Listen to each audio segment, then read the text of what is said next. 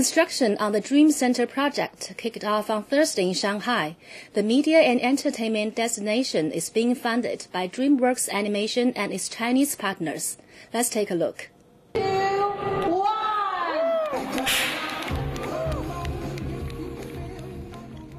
Construction on the project, which is jointly supported by DreamWorks Animation, China Media Capital, and the Hong Kong Lan Kwai Fong Group, is expected to be completed in 2017.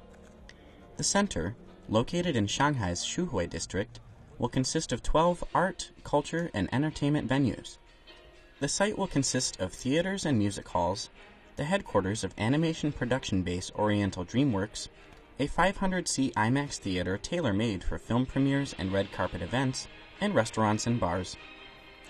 The different areas will be connected by eight themed outdoor plazas.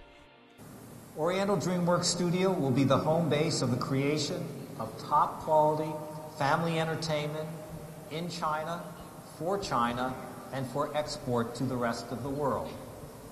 I can't imagine a more exciting place for our filmmakers, our technologists, our artists, and animators to work and be inspired than right here at DreamCenter. We're expecting the birth of a new cultural landmark and a new icon for the city when construction is completed.